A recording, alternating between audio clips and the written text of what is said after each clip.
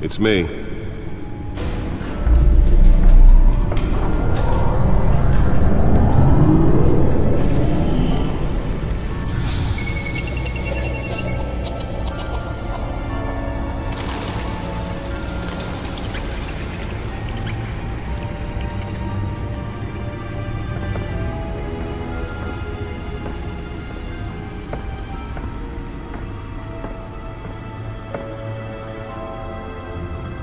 Another brutal week in Gotham, folks. A string of home invasions rippled through the city's already crime-infested East End. Apparently, the bandits are using stolen GCPD battering rams to force their way in, with breaking and entering incidents up 40% over last year. Remember to keep those front doors locked tonight. And we have breaking news tonight. Five criminals are in custody this evening after a break-in at City Hall.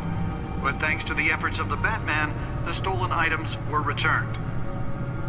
Not all of them. Let's see what she was really after. allegations that Dent may have actually been involved in the break-in.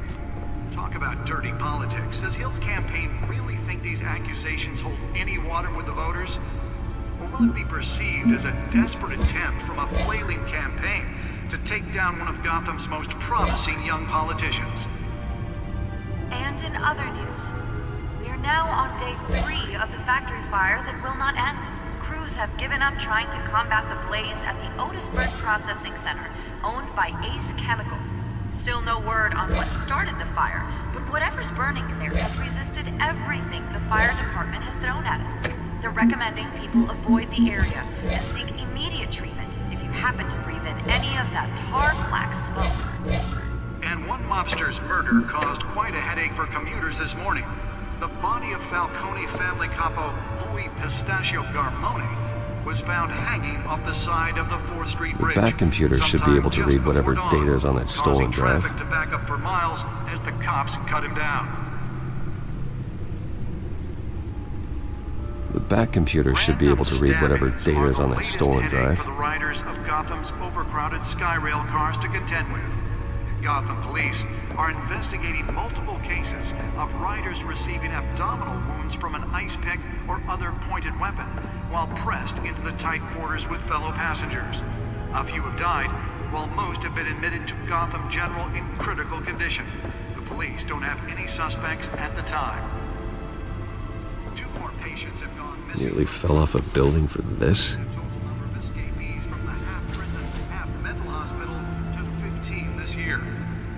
Three have been caught to date, but all the escapees highlight the rough, some would say inhumane conditions at the aging asylum.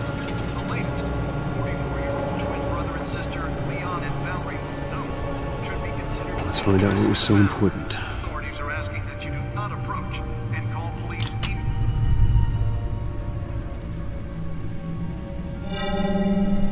Encrypted. Wayne Manor has seven bedrooms, two kitchens, a library, a gymnasium, a basketball court, and a movie theatre. And yet I always find you here. In a dark, damp cave. In front of a computer. I'm more at home here than the rest of the house, you know that. Then we should build an eighth bedroom down here. Sure, I can see the headlines now. Bruce Wayne, billionaire, entrepreneur, cave dweller. Quite an eclectic resume. Did you find out what that, um, Catwoman tried to steal? Well, in the process, What are we looking at? let me try a different angle.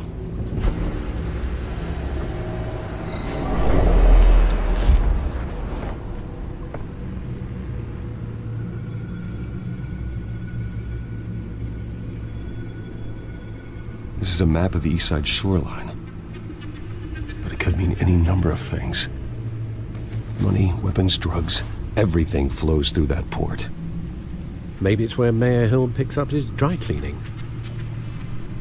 Hmm. Can't make sense of it yet. There's still plenty of files to decrypt. And in the meantime, I saved you what I could. Thanks, Al. Yeah, the same couldn't be said for the bar. I had to literally pry Mrs. Zellerback away. But you'll be pleased to hear everyone has left, including Mr. Falcone. Before the game switched from billiards to cutthroat. I'd recommend leaving the fistfights to your alter ego. Bloodstains are much harder to remove from a tuxedo. Yeah, thanks for the interruption. and it wasn't for you, Bruce. I was worried I might drink all my good scotch. For the record, your father despised men like Falcone, thought they ruined Gotham's stellar reputation. Back when it still had one? It can again, Bruce. Though people like this Catwoman aren't helping. Is she new to town? Never seen her before. Hopefully, she's just a tourist. Oh, no, I already checked the codex. Not much to find, apparently. Few burglaries, break-ins. Seems to lay pretty low. You could learn a thing or two from her. You can't step outside without it ending up in the news lately. As Bruce or Batman. That's not the point. I want criminals to know I'm out there. Batman isn't hiding from anybody. I was talking about Bruce. I don't mean to beat a dead argument, but... No one's gonna figure it out now. Trust me. Miss Vale noticed your injuries, so did Mr. Dent. If they put it together with the incident at the mayor's office, it would undo all the long nights and close calls we've endured to get here. You're in the spotlight more than ever. You have to be careful. I have a job to do, okay? A responsibility to this city. You know why I do this. For the car, I presume. Well, the car helps. Oh, yes, you drive that thing like a bat out of hell. Old men worry, that's all. It's our gift and our curse. One more worry for the list.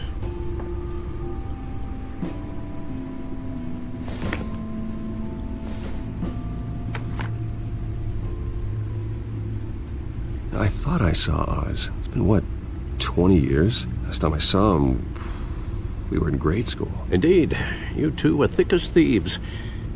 Oswald, however, took that role more literally than you. Dishonorable discharge, illegal boxing matches, arms dealing, prison stints? That's a criminal grand slam, if I'm using the expression correctly. Unfortunately, you are. Oswald claimed he only wanted to catch up, but his behavior following his family's collapse is troubling. Why he's returning now, I haven't the faintest idea. Do you think he might know something about the break-in? This Catwoman shows up around the same time Oswald comes back to town. Might not be a coincidence. Oswald's crimes, numerous they may be, are on a much smaller scale than robbing City Hall. Well, he was always trouble growing up, but it was the fun kind of trouble. You both were. Even though you and young Master Cobblepot used to be close, I'd advise you to be cautious. But I know you can't abandon a good mystery until it's solved. I'll be careful, Alfred. When you see what's become of his park, I think you will.